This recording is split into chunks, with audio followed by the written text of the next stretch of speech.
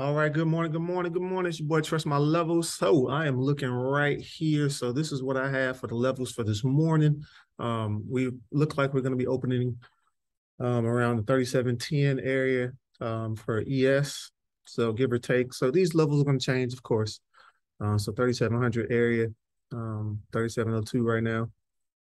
Um, yeah.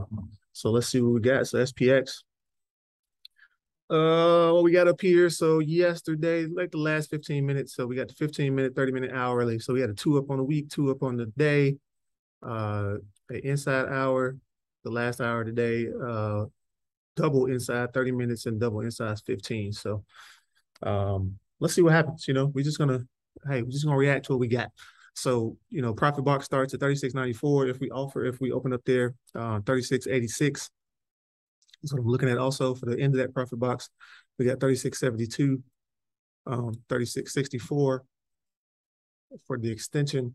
And then if we get to the other side, you know, 3731, um, and we got an H crest up there at, at uh from 1018.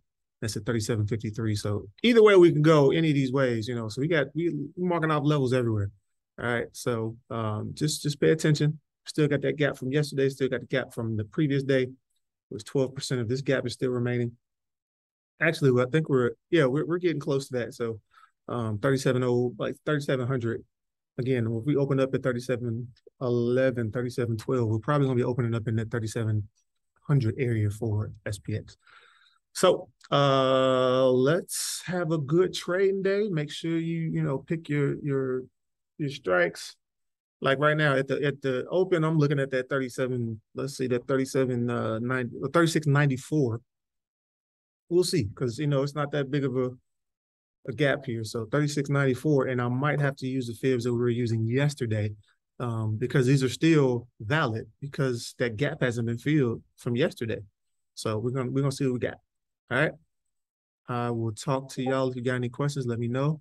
Uh, if you need to find me, we'll be on the Zoom. We have a live Zoom for the trading community. Um, shout out to Six Foot Six Figures and Apex Trading Group. Let's get it. So, um. All right. If you got any questions, let me know, and I'll talk to y'all later. All right. Have a good trading day.